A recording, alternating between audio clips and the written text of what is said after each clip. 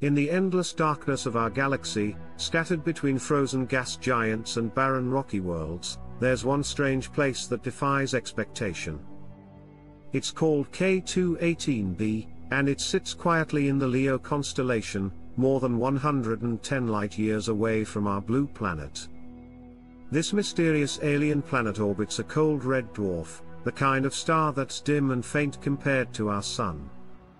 And yet, despite the chill, K218b might be the most Earth-like world we've ever found, not in appearance, but in its atmosphere, chemistry, and possibly even biology.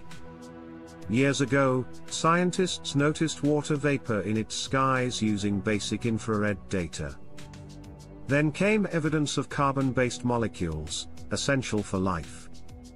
But it wasn't until the James Webb Space Telescope turned its eyes toward it that things really changed. Webb's deep scan revealed more than expected. In its cloudy atmosphere, researchers found a combination of gases that on Earth can only be produced by living organisms. This wasn't just theory anymore. It was real data. Biosignatures like these shook the astronomy world. They weren't just traces of water and carbon dioxide. There was methane, and more surprisingly, dimethyl sulfide, a chemical on Earth only made by marine life, especially phytoplankton. Along with it, Webb also found dimethyl disulfide, another complex compound tied to microbial life in Earth's oceans. This rare pairing in the same hydrogen-rich atmosphere was more than coincidence. It was like finding a footprint on the moon, undeniable, intriguing, and revolutionary. So what is K218b really? Scientists call it a Hycean world, a cross between an ocean planet and one with a thick hydrogen atmosphere. It's bigger than Earth, with a radius 2.6 times larger and mass nearly 9 times heavier. But size isn't what makes it special. It sits in the habitable zone, the narrow region around its star where temperatures could support liquid water, the first condition for life as we know it. Imagine an endless global ocean, cloaked in clouds and protected from harmful radiation by a blanket of hydrogen gas. With water vapor, carbon dioxide, and methane confirmed, and now potentially biological molecules, scientists are being forced to confront a possibility that once sounded like science fiction, this ocean may be alive. Some suggest phytoplankton-like organisms drifting near the surface, harvesting faint red starlight for photosynthesis, just like ancient life did on our own planet. Others imagine more complex marine life forms, like primitive filter feeders or even floating creatures that skim through low-gravity seas. Picture an alien version of flying fish, adapted to low pressure near the atmospheric edge, perhaps able to rise briefly above the waves. Some theories go even further, wondering if multicellular life has evolved, hidden under thick cloud layers, too distant for us to see but leaving behind a chemical trail. If so, K218b could be a mirror of Earth's early history, resembling our oceans as they were billions of years ago, before the rise of animals, cities, and civilizations. Its atmosphere, shaped slowly by microbial breath, could be changing right now, and we're witnessing it. Now, as evidence grows, debate rises. Should we contact this world? Should we send a signal across space?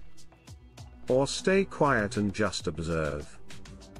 Some scientists, like Mark Buchanan, say reaching out would be a dangerous gamble.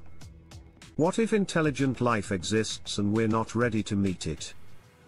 Others, like Avi Loeb, argue that any advanced beings out there have probably already detected us.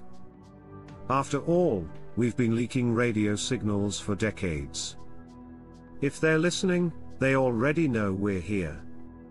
Still, sending a message would take 120 years to arrive, and another 120 to hear back.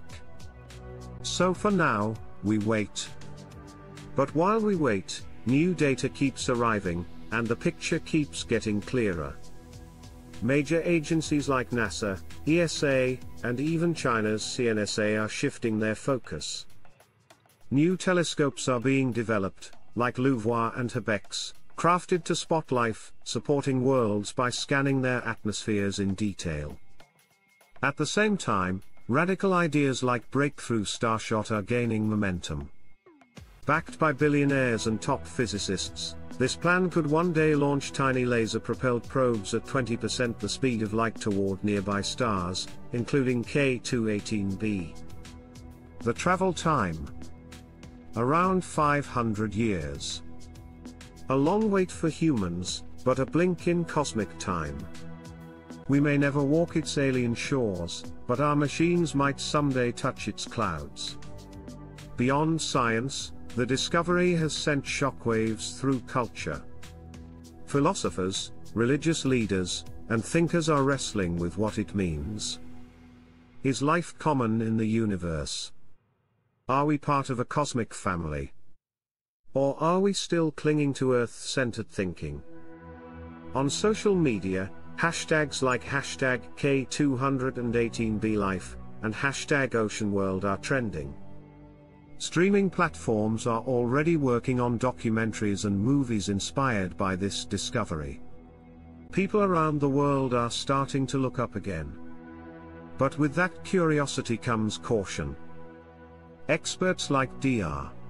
Monica Vidari are calling for exobiological sanctuaries, protected zones around life-hosting planets. Subscribe to our channel and thanks for watching.